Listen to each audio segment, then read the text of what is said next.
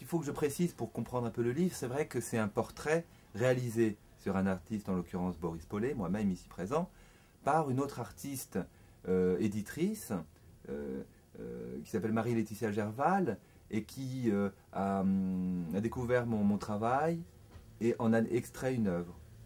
C'était bien parti. C'est mieux. Oh c'est un rebond. Allez, je t'envoie la balle.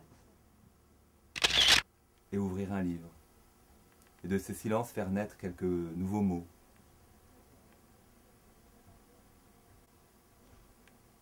Les mots ne sont pas euh, un, ils sont multiples. Par définition, un mot mis avant, mis après n'a plus le même sens, surtout en français. En français, l'ordre des, des, mots euh, euh, détermine le sens.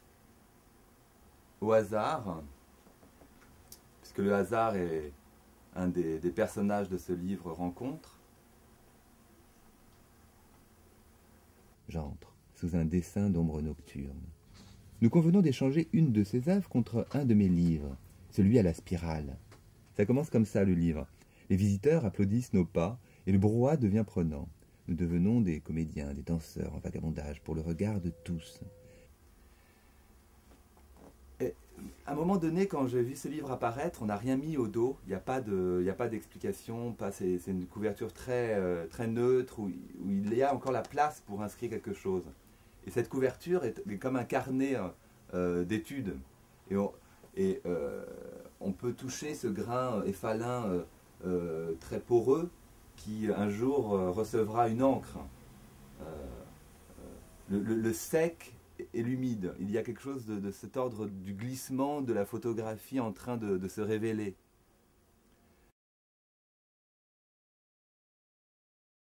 Multiplicité des techniques et des cadres qui se doit de respecter. Qui est Boris? Parce qu'en fait, dans ce livre, le Boris est aussi un personnage imaginaire. C'est un peu un petit prince. C'est euh, euh, c'est une invention. Il a une part de réalité, une part d'irréalité. C'est un personnage. Qui est Boris? Qui est ce Boris exprimé à travers le regard de, cet artiste euh, portraitiste Finalement, Marie-Laetitia, qui, qui, a réalisé ce livre, a un talent de portraitiste. Et elle a su s'immiscer dans les arcanes de mon âme pour en révéler quelques substances.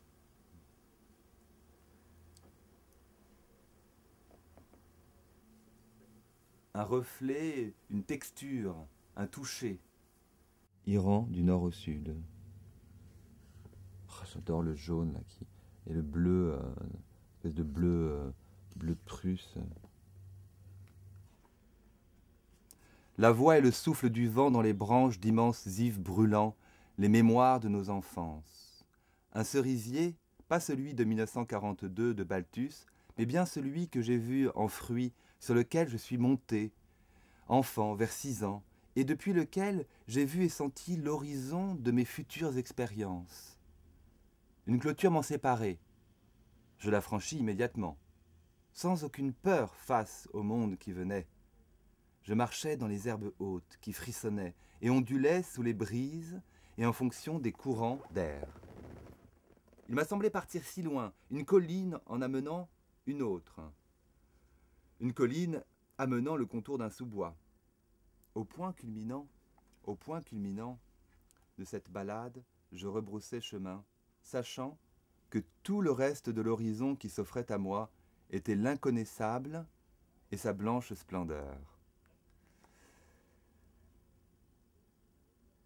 c'est drôle parce que ce livre, c'est comme des petits fragments de vie. C'est c'est pas chronologique, c'est euh, euh, pointé du doigt sur une période plus particulièrement de l'adolescence, du moment où on est dans les grandes transformations.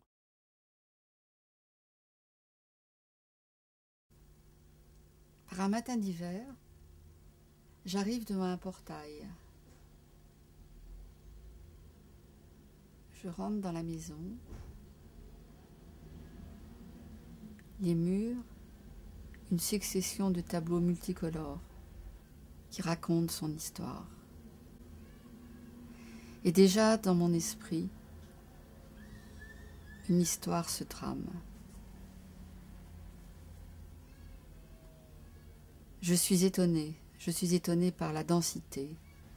Je m'interroge. Quel lien donner, quelle couleur donner à ce puzzle d'une si grande richesse, d'une si grande beauté? Inventivité, musique, poésie. Que de nourriture en un premier jour. Je suis submergée par l'émotion. Les dessins me révèlent l'adolescence, me révèlent une autre version de cet être que je découvre au fur et à mesure. Mes mots vont-ils respecter la complexité de son âme et sa beauté?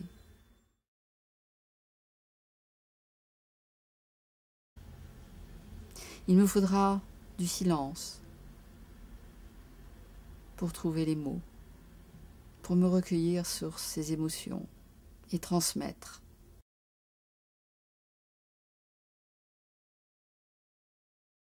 Voilà. Et, et on voit ce que ça donne. Voilà. Moi, je crois qu'il ne faut pas prévoir les Voilà. choses à l'avance. On est là, Ouais, on, on- on- on est juste dans cette espèce de moment de rencontre euh, d'un X et d'un Y. Ouais, ouais. C'est une histoire de rencontre. Ce livre, il est euh, comme un, un- deux personnes qui arrivent et qui se, qui se rejoignent euh, à un moment XY.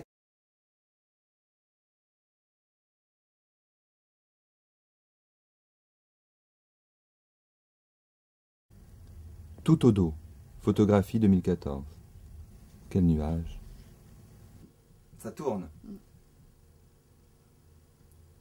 On est dans le live. Lance se veut lit. Donc c'est une sorte de, de livre visionnaire ou de visionnaire euh, euh, qui ne dit rien et qui voit tout. Ce qui m'intéresse, c'est le côté euh, très euh, tactile, gratté. Je crois que j'ai pas grand chose à dire.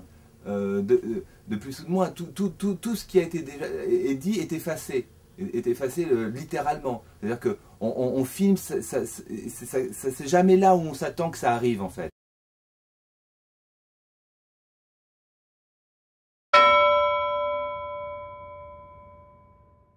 Avance un pion, mais on ne sait pas ce que l'autre va jouer derrière, donc on est toujours dans le, dans le ra- le face-à-face. Les efforts de maîtrise de la conscience semblent connaître une limitation favorable à la créativité. C'est très classique, c'est un, livre rencontre, comme tous les livres le sont, euh, avec euh, un- un- une, mémoire à partager. Voilà, on est en- entouré de livres, c'est... Qu'est-ce qui- qu'est-ce qui se passe si on le met ici Voilà. Il, rentre, il rentre parfaitement, c'est c'est un parmi tant d'autres. Il est, il est, il- en Moi- fait, moi, si il tu est- veux, c'est- conçu comme un, un conte dans, un conte pour enfants en fait. On raconte une histoire. Oui, oui, oui, oui. C'est oui, c'est ça. On raconte une histoire. On- et on invente un personnage. C'est vrai que c'est un peu pour les enfants. Mm. Enfin, on invente un personnage. Je suis pas tout à fait d'accord parce que C'est quand même un, un portrait. euh, bah, c'est subjectif, c'est son interprétation, mais enfin, c'est c'est- c'est quand même toi. Oui, C'est justement ça qui est touchant. Mm. C'est que c'est quand même étonnant parce que, par exemple, ton frère n'aurait pas été capable d'écrire un livre comme ça sur toi. Il y a une vérité sur toi. Mm. C'est ça qui, est- qui est touchant. C'est quelqu'un qui ne te connaît pas, qui arrive à. Mais- c'est une vraie c'est- rencontre. Ouais, c'est une vraie rencontre et je crois que justement, C'est- on peut le voir trans- les. C'est C'est la le transfert distance. co- contre transfert. hein. C'est exactement ce qui se passe en psychanalyse. C'est le transfert et le contre-transfert. C'est exactement ça. Tout à fait. C'est-à-dire, Elle-même a dû s'étonner Désert rapproché de givre. De l'art avec lequel, parce que ça correspond pas du tout à ce qu'elle a fait auparavant sur le plan artistique. Elle a essayé de, de, de- de s'approprier les choses nécessairement pour, euh, pour pouvoir me les redonner. Mm. C'est une, voilà, une question d'aller-retour. Elle- elle- euh, dans son travail, elle a vraiment dû euh, mûrir, incuber. Dans la fabrication du livre, ce que j'ai trouvé très intéressant au départ, parce qu'elle est très euh, carrée comme, comme esprit, de commencer par euh, la coquille. Elle me dit voilà, moi je commence à l'inverse de tous les autres où c'est on écrit et après on pense la forme de l'objet qui va naître, telle euh, page, tel papier, etc. Elle, elle était plus dans la pensée de l'objet. C'est pour ça que pour moi c'est pas un livre ni un catalogue, c'est vraiment un objet d'art. C'est pour ça que c'est un tirage euh, limité, très haute qualité, à plein d'égards. notamment c'est un, un, offset, 200 exemplaires. On fait, on fait jamais ça. Donc c'est une, petite aventure derrière dans, les, dans, dans le. Dans,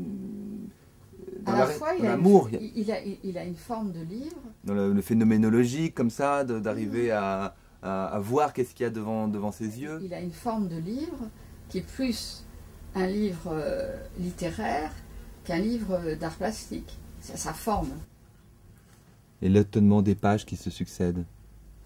Donc page 53. 40 maintenant, je te quitte.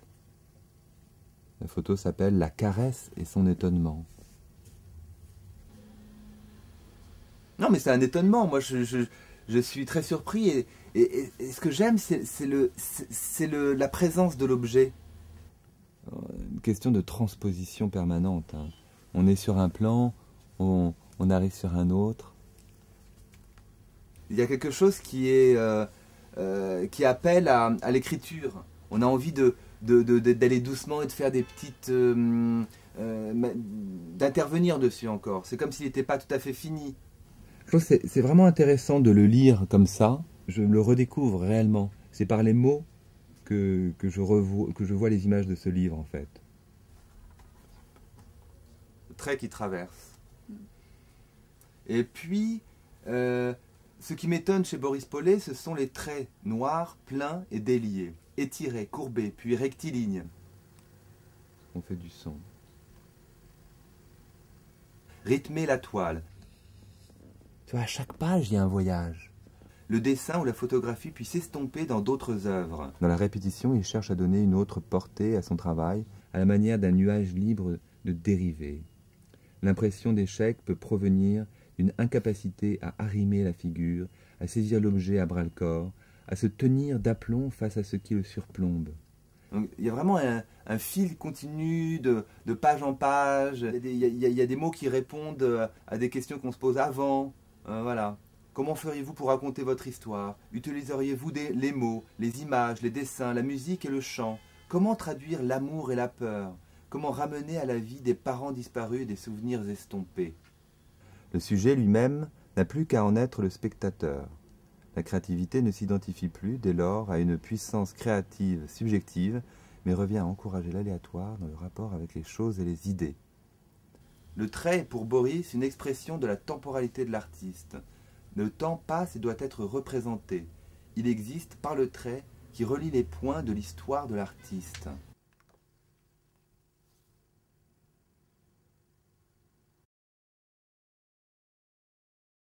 Elle arrive à, synthétiser des, phrases courtes. Ça s'est petit à petit euh, fabriqué. Ce texte, c'est euh, monté petit à petit, comme, tout, comme, tous, les, comme tous les textes. Euh, il y, a, y, a, des strates. La femme m'amuse. C'est vraiment d'une précision. Tu vois, le, le 1, tu vois, on voit encore le, le bord de la toile. La discipline et la pratique comblent son besoin de cadre.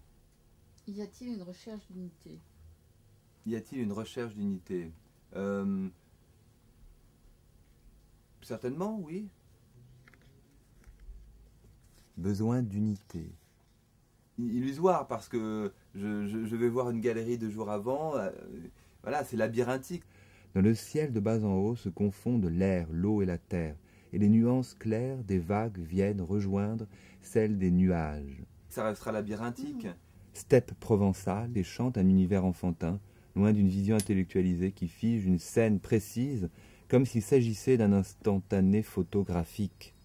Il y a des renvois, euh, j'essaie de construire une œuvre globalement, euh, mais c'est comme un, effectivement, c'est comme un enfant qui joue dans son, dans son, euh, dans son terrain de jeu. Une tache de nuage apparaît comme une lune en plein jour.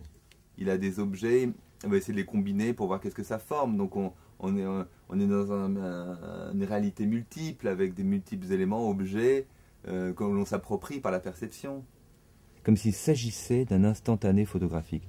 Non, c'est une belle écriture. Hein. Il se rend à l'évidence de l'essentiel. Quand on, regarde les titres, c'est atome. On peut vraiment euh, rester longtemps et, s'amuser à, avoir ces reproductions, de, sortir du livre. C'est un état d'âme. La femme m'amuse.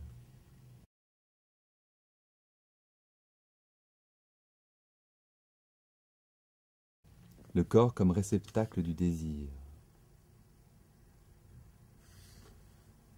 La muse me ressemble et elle me rassemble, dit-il. La peinture permet de saisir la vie et ses couleurs telles qu'elles sont perçues par le voyageur.